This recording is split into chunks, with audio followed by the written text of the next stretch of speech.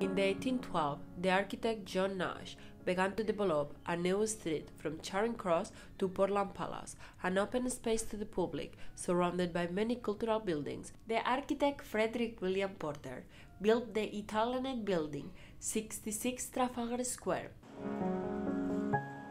Later on, this building became the National Westminster Bank. In 2005, the building became the Albanach, a Scottish restaurant specialized in Scottish food and whiskey. In 2014, the building was acquired by Fuller's Brewery.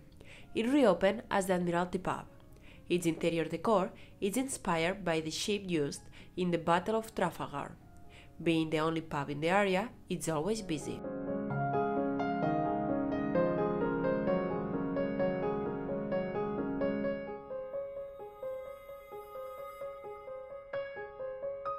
Name is Enrico Magrini. I'm Italian, 36 years old, and I came in London 10 years ago.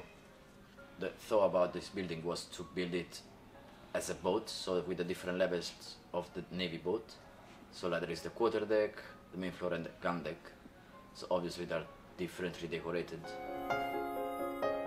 Since the Admiralty reopened in 2014, it's been recognized as a very busy pub, being the only one in Trafalgar Square from Wednesday to Sundays. However, since COVID situation started, the hospitality sector has suffered a huge impact.